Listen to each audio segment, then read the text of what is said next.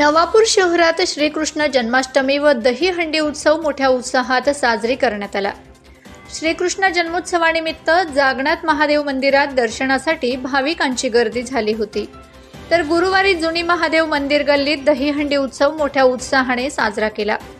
मंदिरात फुगे व फुलांची आकर्षक सजावट करण्यात आली होती तर लहान बालकांना बाळकृष्ण सजविण्यात आले होते. प्रसंगी भजन कीर्तन व गरबा रास खेळण्यात आले. बुधवारी मध्यरात्री बारा वाजेच्या सुमारास श्रीकृष्ण जन्मोत्सव व आरती करण्यात आली. या प्रसंगी तरुण मंडळींसह महिलांनी यात सहभाग घेतला होता.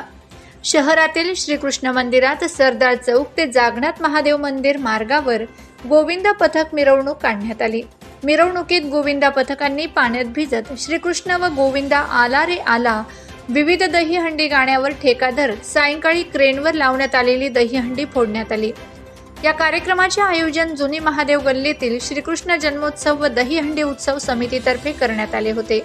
यावेळी कार्यक्रमाला नवापूर शहरातील प्रतिष्ठित राजकीय सामाजिक शैक्षणिक तसेच धार्मिक क्षेत्रातील प्रतिनिधी मान्यवरांनी कार्यक्रमाला शुभेच्छा देत सदिच्छा भेट दिली.